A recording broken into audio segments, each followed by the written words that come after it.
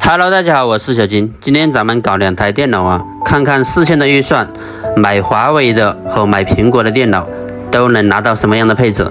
首先，咱们看一下华为这一款是二幺年发布的华为 MateBook 幺四 S，这一款是带触摸屏的 i7 十一代 H 高频的处理器，三点三 G 赫兹，十六加五百一十二 G 的内存。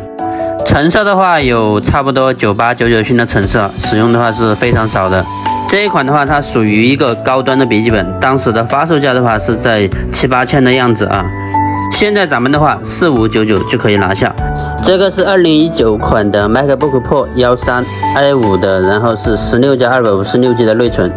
一九款十六 G 运行内存的话，属于一个定制的内存啊。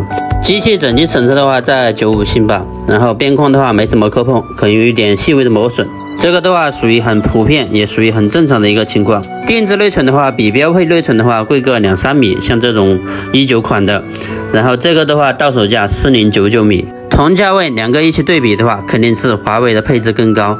使用体验的话，就因个人而异了。如果是你的话，你会选择哪一款呢？今天的视频就到这里，我是小金。如果想要了解更多行情，可以下方评论或者私信，小金看到会及时回复。咱们下期见。